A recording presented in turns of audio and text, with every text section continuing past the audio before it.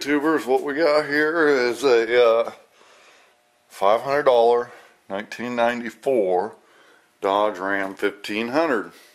Uh, as you can see from the video before this, when I went to get the truck, it starts fine. It ran fine. Transmission shifted fine.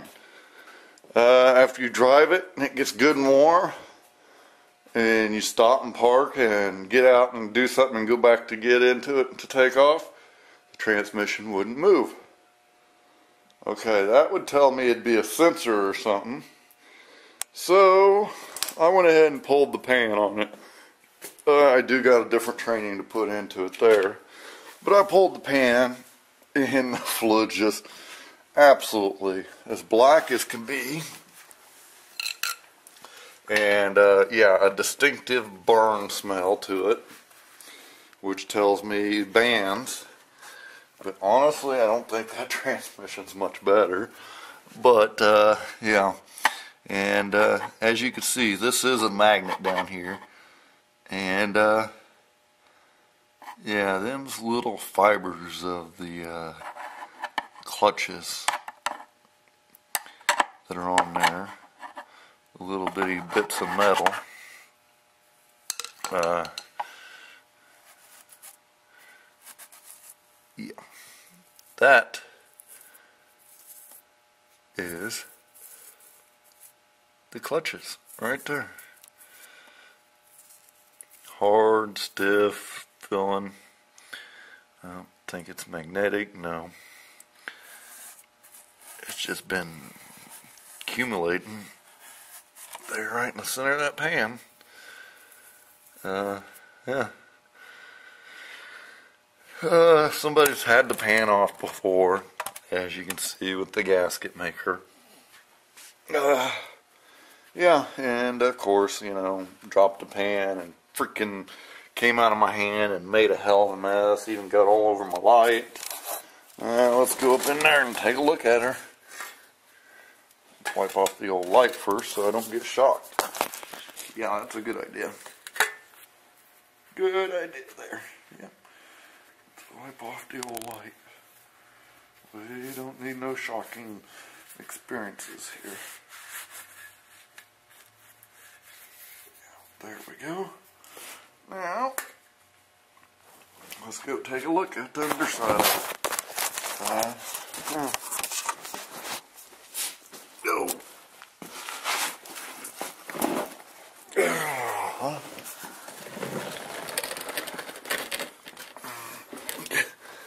See, originally I was thinking, oh, probably a pressure switch gone bad, because these are common for them to go bad. Uh, yeah. Look at the bottom of that filter. It is just filled with pieces of metal on it. Yeah. That tranny is shot. No ifs, hands, or buts about it. Looks like it's actually been hot before because look at that and the discoloration in the aluminum on that there servo. Yeah. And this being a 94, I'm not so sure it has the pressure switch on it. And, uh, yeah, not real sure of that. But I am pretty sure that the uh, transmission is just shot. Yeah, look at all that crap in there. Yep. I could probably get it to work for a while by changing out the uh, filter again because I'm assuming that it's been changed once and putting new fluid in it and she'll probably work for a good while. But it'll put it back right where it's at now. So I guess uh, yeah. Lights are smoking. Yeah that's what happens when you get transmission fluid in it. So boys looks like we're fixing to pull a transmission out uh, yeah yeah, yeah, yeah. I think I'm going to do it in one unit, transmission, transfer case, and uh, and then just put that tranny and transfer case right into it. Uh, yeah, that's what I believe I'm going to do. Yeah. Put a new rear seal on that. Uh, put a new, uh,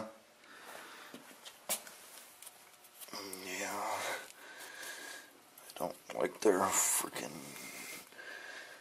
yeah, how's their lines attached? I definitely don't like how, uh, how, uh, come on. Get out of zoom. Alright. Yeah. That is what I believe we're gonna do. Put new seals in this one and, uh, good to go on it, uh, with a front seal. Mm hmm Yeah, rear seal. And, uh, yeah. Needs a new, uh, um, dipstick, uh, gasket.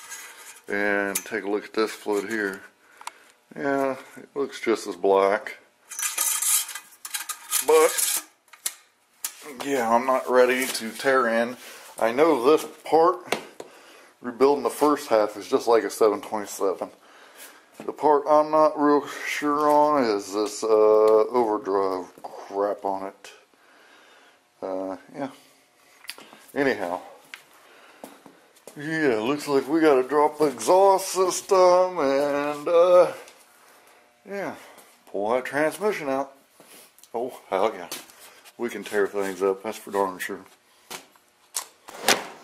Okay, tubers. Um, yeah, I'm to show you guys a couple. I took the pan off of that one. There should be a little video clip of it up. And I just took the pan off of this one. That uh, the $100 El Cheapo transmission transfer case. Well, as you all know, this is the pan that came out of this truck. And you see all that crap in there and stuff. And yeah, I'm telling you, some kind of additive's been added to this or or something, but yeah, look at all that metal pieces down in there. I think the transmission in this truck, even though it's shifting fine, I think somebody put something in it. Uh, I do know that if you, come on, focus.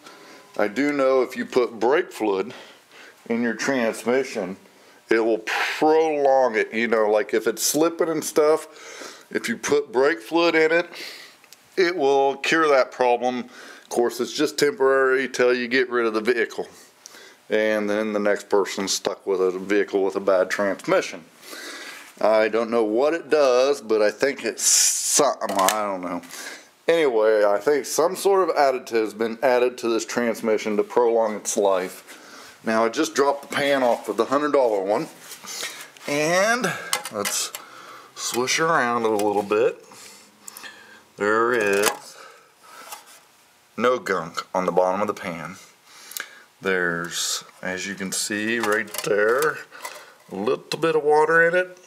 But the transmission was in the back of a truck and it snowed on one night and I do know the dipstick tube leaks, so I'm assuming the snow leaked down into the fluid. Uh, but anyway, yeah, I definitely, there's like minute little pieces of tiny, tiny little pieces of steel in there, but I'm not even sure that that's steel. Yeah, it's it's not. It, it's just little bitty, little bits of water in it. Um, anyway, for sure, this transmission, I will be able to. I'm going to change the, uh, of course, the fluid in it. That's the torque converter that came out of that one. Putting a new filter in it, and I'm to check to see if this is a style that has the pressure uh, valve on it, and if it does, I'm going to change that too. Uh, I'm putting a new front seal in it, new rear seal on the transfer case, because I'm just going to put the whole unit into that truck and pull that whole unit out, because this should be just a simple bolt in and go type thing. Um, yeah. So, uh, yeah. It is kind of dark, but this fluid as you can see, is red.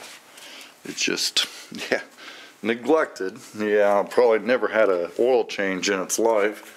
And the fluid out of this truck, let's see what color it is. Oh, yeah, black. Yeah, and I know for a fact the filter and this one's been flushed like, oh, I don't know, six months ago because, yeah, I know that there was a uh, Dodge guy that sold this to the person that had it that the transmission went bad on. And uh, yeah, anyhow, that's the scoop on this truck. So it looks like we are going to be pulling this one, and we are going to put that one in it. Oh yeah.